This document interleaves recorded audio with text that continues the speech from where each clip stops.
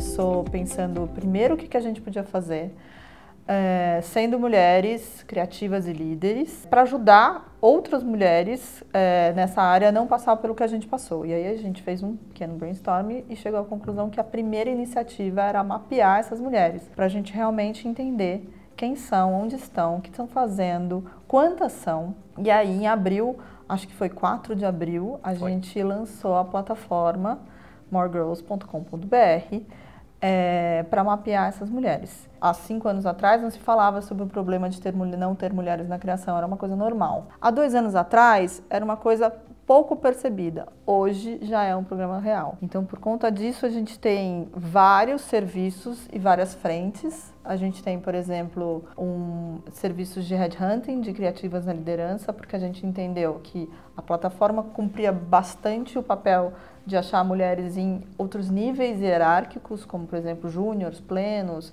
até sêniores, mas para a direção de criação a gente podia ter um olhar um pouco mais aprofundado. A gente tem uma frente de awareness, que são as nossas plataformas sociais, para falar do problema, para discutir, para falar com os homens também, porque não dá para falar desse assunto só com mulheres. A gente tem um serviço que é mapear o clima, né, que a gente chama de retrato organizacional, que a gente faz uma série de perguntas tanto para a liderança da agência quanto para os colaboradores, para entender o quanto é receptivo aquele ambiente para as mulheres. A gente tem o serviço de mentoria, que muitas mulheres procuram, é, e a gente tem uma parceira é, que nos ajuda, que é a Ana Leme, que tem muitos anos de coaching. A gente tem os nossos workshops e palestras, a gente tem os nossos eventos, a gente vai ter podcast e o que mais precisar para a gente continuar trazendo esse problema à tona, para a gente continuar conscientizando principalmente a liderança e para que um dia a gente não precise mais existir.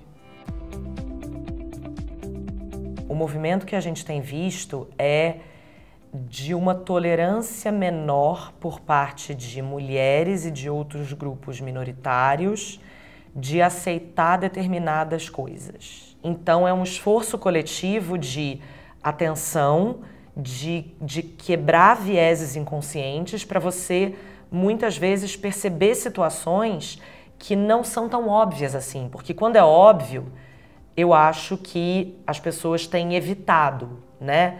É, falar coisas e quem pode se manifestar falar, olha, é, isso não foi correto.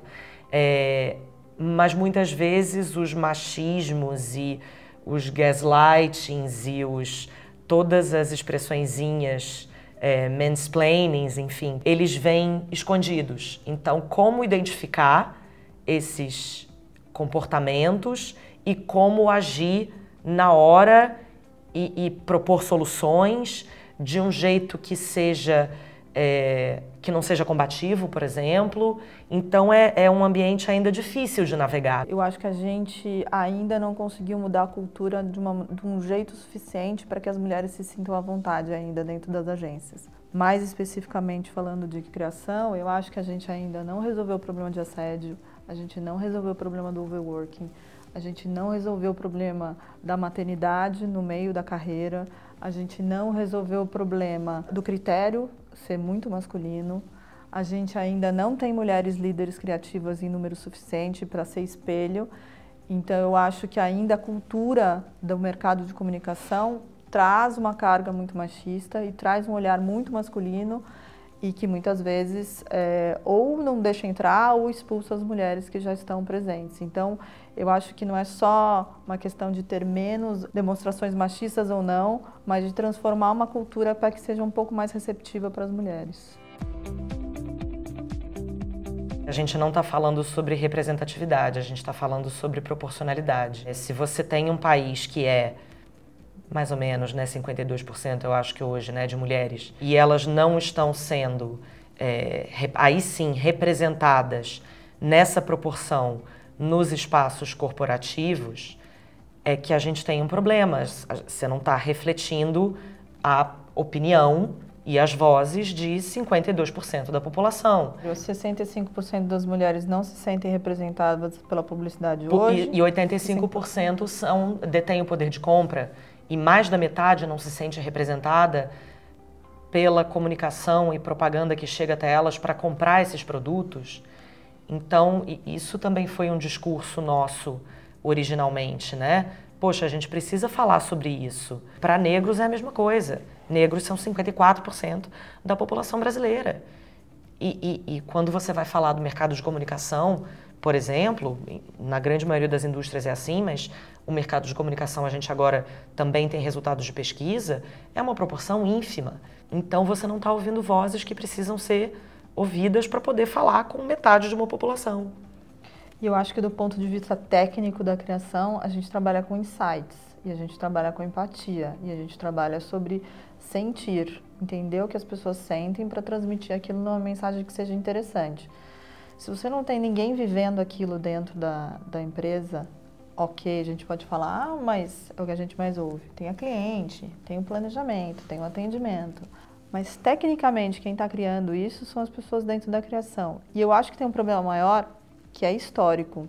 Se construiu um critério muito masculino e virou o critério do mercado. Então, mesmo as mulheres, eu, por exemplo, quando comecei e fui me desformatando, eu tinha um olhar muito masculino. Eu, eu criava como um homem, eu pensava como um homem, porque era o padrão que se estabelecia de boa propaganda. Não, então, para ganhar os prêmios que eu gostaria de ganhar ou para ser considerado uma boa criatividade, eu tinha que estar naquele padrão. Que tem a piada é, mais escrachada, que tem a coisa é, do timing ser aquela coisa mais pastelão, né, que trabalha pouco a, o sentimento mais profundo, que tem um olhar masculino. Está errado? Não está, mas o que a gente acha que precisa ter uma proporção de dois Existem olhares. Existem outros olhares. Né? Então a gente sabe que tem homens que são capazes de entrar na alma feminina, a gente sabe que tem mulheres capazes de entender os problemas masculinos, mas se você tem uma proporção de criativos maior masculina, o olhar tende a virar para um lado só.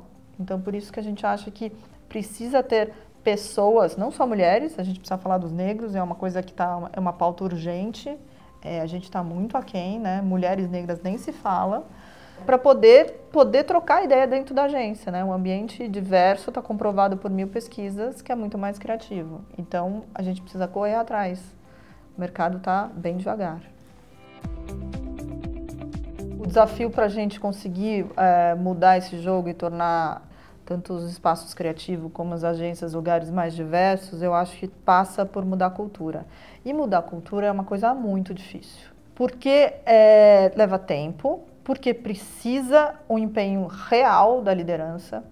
Então, se a liderança está muito confortável com seus privilégios, está muito à vontade com a maneira com que são levadas as coisas, ou não está preocupado com o que acontece embaixo, é difícil você mudar a cultura. Porque você consegue ter um movimento de baixo, que são, as, são as, uh, os cargos de base, mas você precisa de uma consciência de cima para você conseguir achatar. E hoje a gente vê muitos movimentos de base, poucos de liderança. Então, se eu não tenho metas de liderança, como tem, por exemplo, empresas como a Microsoft, como o Google, de que precisa ter na sua equipe uma diversidade e que eu preciso ter um ambiente que é, é para todas as diferentes opiniões, é difícil você mudar a cultura. E quando se muda a cultura, você continua no mesmo lugar. Você pode até trazer pessoas diferentes, mas que vão ser formatadas para aquela cultura que está estabelecida.